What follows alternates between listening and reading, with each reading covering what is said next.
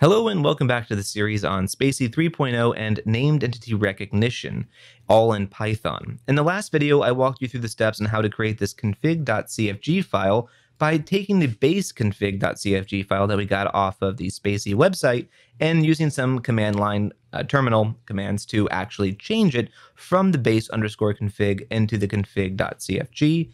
And what we did in an earlier video that we're going to start using now in this video is we created training data that wasn't great, but it was good enough to demonstrate um, kind of methodology and workflow for this series. So what we're going to do in this video is we're going to take the config file and we're going to have it run over the training data that we're going to call in the config file. And we're going to create a spaCy model from scratch using that training data. This is the big difference with spaCy 3.0 from spaCy 2.0 is that you have to interact with things a little bit differently in the training process. You're going to be interacting with things in the terminal. And in Windows, that's going to be command prompt. So let's go ahead and open up the terminal right here. I've already got mine loaded.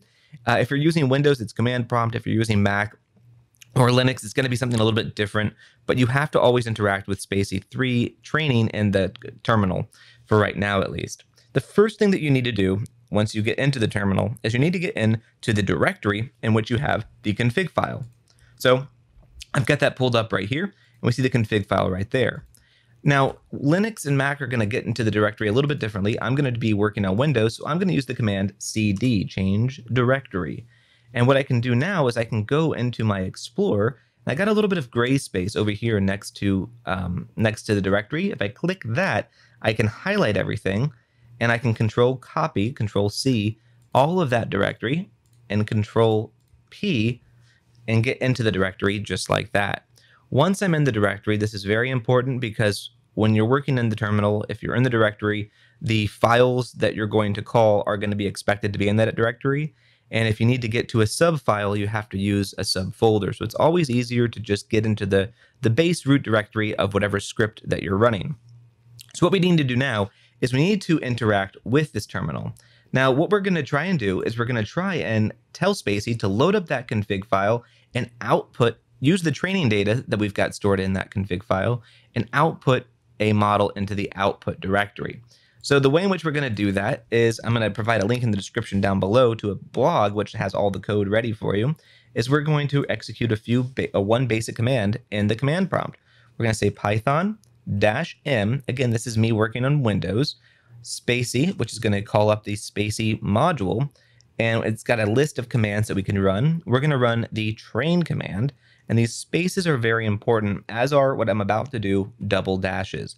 Double dashes, a good way to think about them is as a keyword argument, something that you can pass into the to the command that's going to give it a little extra detail on what to do. We're going to call the output keyword argument, and we're going to have just one space. And this is going to tell it where to output the model. We're going to output it to output.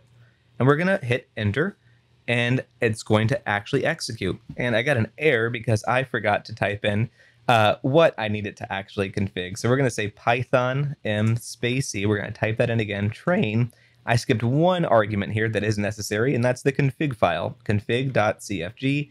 Next, we're going to do space output just like before, and so what's happening here is I was in the wrong environment. So now spaCy has loaded up the uh, the config file and it's loaded in the training data from that config file, which we saw being created in an earlier video.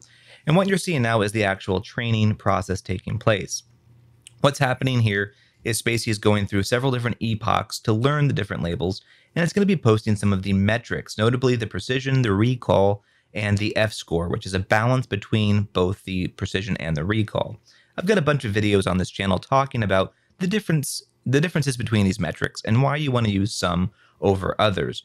But I'm going to go ahead and come back to this video after the training is done, and then you'll see what the model kind of looks like in the actual folder. In the next video, what we're going to be focusing on is we're going to focus on how to actually test these models now that we have it.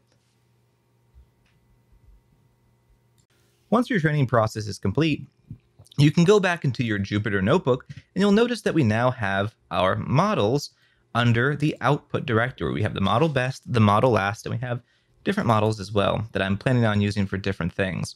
So what we can do with these models is now we can actually load them just like you would any other model. and you can actually start seeing that they actually have the NER component, the Tok2Vec component on down the list.